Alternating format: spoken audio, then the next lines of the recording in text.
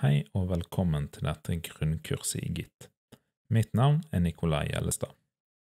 Det vi skal lære i dette kurset, er å laste ned Git. Vi skal lære oss å bruke et grafisk brukergrensesnitt. Vi skal lage et repository, og vi skal lære hvordan vi samarbeider om å jobbe i et repository. Git er et versjonskontrollsystem som er mest brukt for kode. Versjonskontroll er at systemet har kontroll på alle endringer som skjer på alle filer i en mappe.